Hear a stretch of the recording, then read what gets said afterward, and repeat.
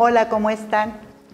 Yo soy Diana Lili Corona Alanís, soy coordinadora diocesana de la Pastoral Litúrgica y el día de hoy me da mucho gusto acompañarlos para compartir con ustedes el tema que se llama la oración Escuela de Esperanza. Sería interesante definir lo que es la oración, saber lo que se hace en oración para aprender cómo, además del lugar, es escuela de esperanza, pero también definir la esperanza para saber cómo aprender en la oración. La oración, por tanto, es imposible sin esperanza. Y la esperanza es la misma quien la alimenta. Cuando vamos a la capilla a orar, cuando ofrecemos un rosario, ya tenemos una esperanza. Si nadie me oye, Dios sí. Si nadie me escucha, Dios sí. Si nadie me acompaña, Dios sí. El Catecismo de la Iglesia Católica nos define la oración como la elevación del alma a Dios o la petición a Dios de bienes convenientes. El que ora aprende a pedir a Dios lo que es digno de Dios. No va a pedir algo que es banal, algo que es superficial, sino purificado en sus deseos, pedirá lo que es bueno para Dios y bueno para su alma. Ora también con la confianza de que Dios lo escucha, Dios lo ve, Dios conoce su corazón. Ora sabiéndose culpable ante un Dios que perdona y que ama sin condición. El Papa Benedicto XVI en su encíclica Espe Salvi, Salvados en la Esperanza, nos dice que rezar no significa salirse de la historia y retirarse al rincón privado de la propia felicidad, sino la purificación interior que nos hace capaces para Dios y capaces para los demás. Hoy estamos viviendo una historia, hoy estamos con una realidad. ¿Cómo la estamos viviendo? Nos vamos a salir de esta realidad y de esta historia y vamos a rezar solamente por aquellos a quienes amamos nos vamos a olvidar del hermano que sufre, del hermano que está viviendo esta situación con crisis, con angustia, del hermano que necesita mi oración porque quizás está haya perdido su fe, haya perdido la esperanza. Si nosotros nos olvidamos de los demás, seremos como el siervo malvado que nos dice el Evangelio de Mateo Claro que no. Que esa no sea nuestra postura, sino al contrario, que nuestro amor al prójimo se transforme en la misma expresión de amor y de perdón que Dios me da. Si Dios me ama, yo también lo amo. Si Dios me perdona, yo también perdono a mi prójimo en su nombre. De ese modo, sabré que he entrado a vivir con la capacidad de Dios porque he aceptado el bien con todas sus consecuencias. Hoy esta pandemia también nos afecta y nos hace sufrir. Muchos hermanos la están viviendo en la esperanza y la oración. La oración es un don, un don compartido. Nos unimos en una sola voz con la Iglesia Universal, porque cuando Jesús nos invitó a orar, no nos dijo que dijéramos, Padre mío, sino Padre nuestro. Por eso pedimos unos por otros con palabras previas que ponen en nuestros labios en la oración litúrgica. De este modo entramos nosotros a la unidad y a la obediencia de la reflexión de la iglesia y de Cristo en ella. Por eso nos dice el Papa Benedicto, nos purificamos del orgullo, del individualismo. Nosotros no sabemos orar como conviene y muchas veces la oración personal tiene o puede tener mucho de soberbia y de hablarnos a nosotros mismos. Al orar con Cristo en la iglesia, escuchamos lo que realmente Dios quiere decirnos, que nos amemos los unos a los otros como Él nos ha amado. Y también nos dice ahora, donde dos o tres están reunidos en su nombre, ahí estoy yo en medio de ellos. Por eso la iglesia celebra el misterio de su Señor hasta que Dios venga nuevamente, hasta que Dios sea todo en todos. Es por eso que en la oración litúrgica hacemos una oración pobre, universal, donde nos unimos en comunión con la iglesia y con Jesucristo, quien nos hace participar de su ser para todos. Hace que ese sea nuestro modo de ser y que nos volvamos más capaces para servir a los demás abriéndonos a la esperanza. Y esa misma esperanza la damos a otros.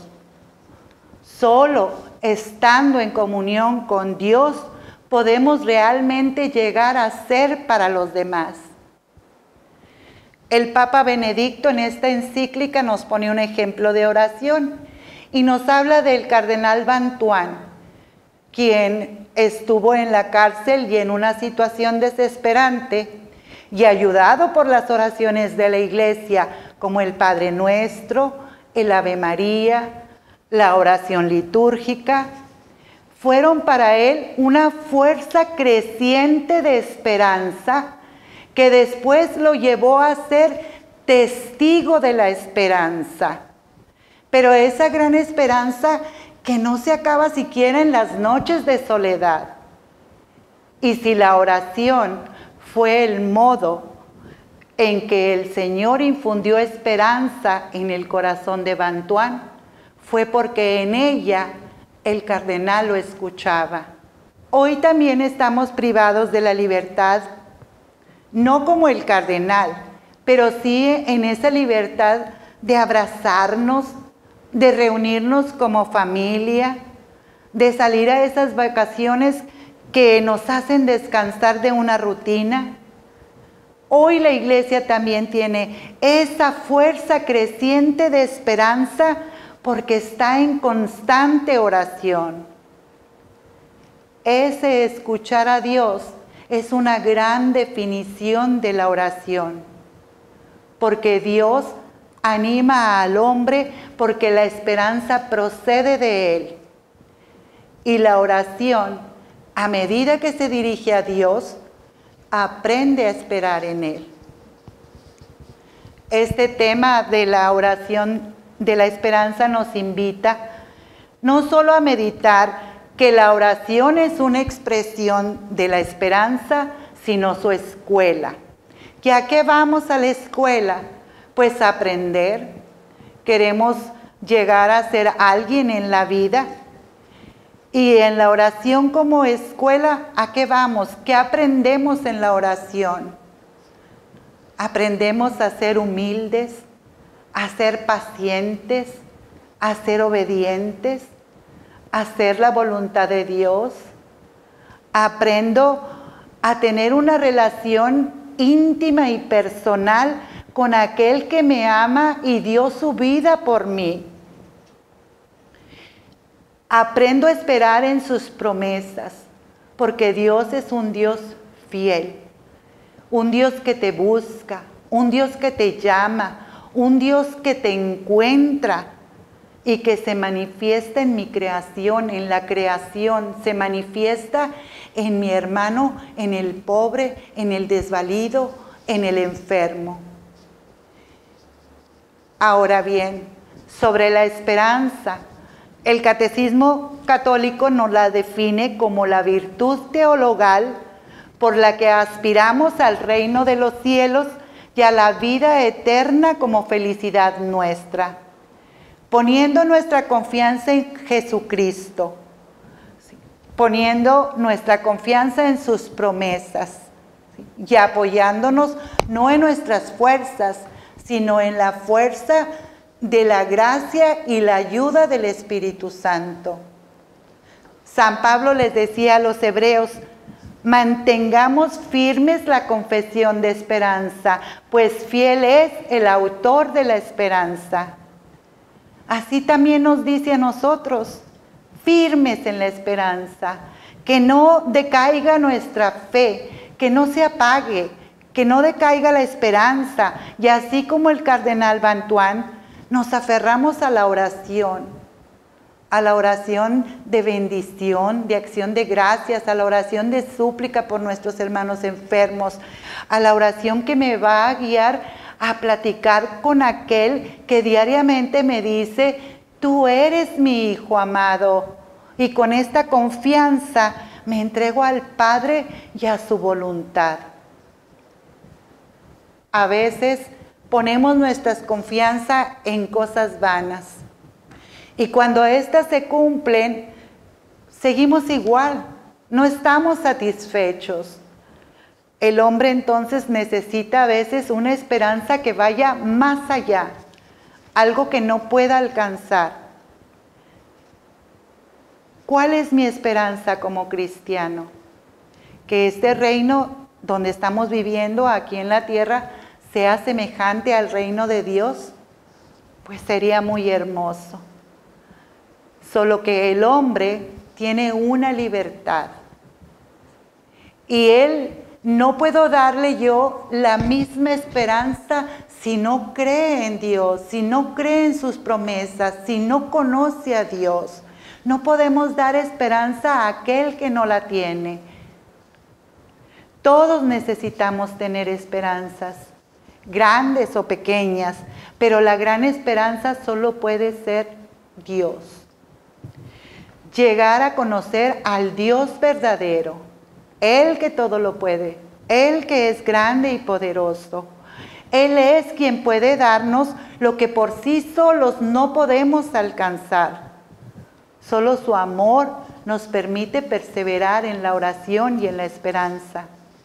También Pablo les decía a los efesios hermanos, y esto es para hacerles una invitación, un mundo sin Dios es un mundo sin esperanza. Hoy los invito a todos ustedes, hermanos, como pastoral también de la diócesis, a que volvamos nuevamente al inicio de la fuente de nuestros inicios como cristianos, donde todos se veían como hermanos, todos partían el mismo pan, transmitían el mismo amor que Jesús les enseñó, eran dóciles, eran obedientes, se repartían tareas para continuar extendiendo el reino de Dios.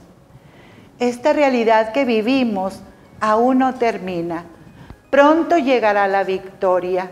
Confiamos en las promesas de Cristo y confiados en esta esperanza estaremos nuevamente en las calles visitando a nuestros seres queridos, visitando a nuestros hermanos enfermos, pero con una nueva perspectiva del amor de aquel que nos amó primero. Mientras tanto, nos abrazamos en el abrazo de la oración, la oración que persevera en la fe, en la esperanza y en el amor. Muchísimas gracias a todos ustedes, con Jesús y con María de su mano todo el día. Bendiciones para todos. Adiós.